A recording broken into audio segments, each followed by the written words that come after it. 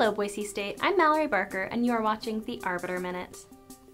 At 11:43 a.m. Friday, April 12th, an unidentified caller phoned a non-specific bomb threat to the main Boise State switchboard. Boise police and campus security officers responded and conducted an investigation and determined that the call was a hoax.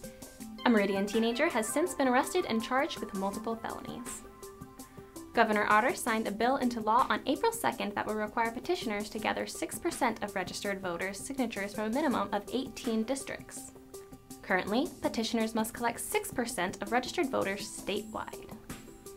Starting on July 1st, when Senate Bill 1108 goes into effect, it will be harder for Idahoans to gather enough signatures to place initiatives and referendums on the ballot. This past Saturday, Bronco Nation came out in full support for the 6th annual Beat Coach Pete race a race against head football coach Chris Petersen. Two brothers dressed as knights finished the race in under 27 minutes and took home first place for the costume contest. After the race, the Broncos played in the annual Boise State Blue and Orange spring game on the blue turf, with the offense coming out on top 28 to 19.